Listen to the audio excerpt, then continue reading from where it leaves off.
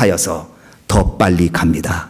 풍랑 때문에 그 바람 때문에 더 빨리 가는 축복 여러분에게 있어지기를 바랍니다. 풍랑이 나를 침몰시키는 것이 아니라 풍랑이 나를 멸절시키는 것이 아니라 풍랑 때문에 더 빨리 갑니다. 그래서 하나님 앞에 영광 돌리고 승리하는 여러분 되어지기를 주님의 이름으로 축원합니다.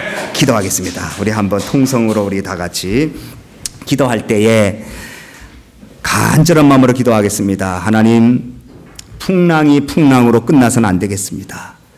많이 풍랑을 만난 우리 식구들 계시고 많은 주변에 있는 분들이 있지만 이 풍랑 속에서 하나님의 음성을 듣게 하시고 당연한 것을 당연하게 여기지 말고 일상생활의 소중함을 느끼고 풍랑 중에는 음성을 들어야 되는데 하나님 말씀 듣고 용기와 사명을 회복하여 로마까지 갈 수 있는 목적지까지 갈 수 있는 승리하는 저들 되게 해달라고 우리 한번 다 같이 통성으로 우리 두 손을 들고 정말 하나님 앞에 간절한 마음으로 주여를 우리 세 번 부르고 통성으로 다 같이 기도하겠습니다.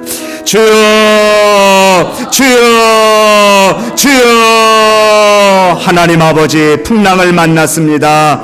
하나님 아버지 자연적인 풍랑도 있지만 인생의 풍랑도 우리는 만날 때가 많습니다. 풍랑이 우리를 멸절시키는 것이 아니고 풍랑이 우리를 침몰시키는 것이 아니라 우리가 믿음 없을 때에 넘어질 수 있다는 사실을 기억하고 풍랑 속에 두려워하지 말게 하시고 풍랑 속에 감사를 찾게 하시고 풍랑 속에 하나님의 음성을 듣게 하시고 풍랑 속에 하나님을 향해 나감으로 말미암아 이 풍랑 때문에 더 빨리 갈 수 있는 축복이 우리 모두에 있게 도와주시기를 원합니다. 하나님 아버지의 풍랑으로 인하여 많은 분들이 재산적으로 또 목숨까지 이런 식구들이 많이 있습니다. 하나님 국리를 여겨 주시고 위로해 주시고 하나님 아버지 풍랑으로 인하여 우리는 나눔도 배우게 하시고 실천하게 하시고 감사도 배우게 하셔서 참으로 하나님 앞에 풍랑이 풍랑으로 끝나는 것이 아니라 영광된 존재로 드러날 수 있도록 하나님 아버지 저희들을 도와주시기를 소원합니다. 하나님 아버지 지금 여러 가지 경제적으로 어려워합니다. 또 하나님 아버지 여러 가지 힘들어합니다. 하나님 도와주셔서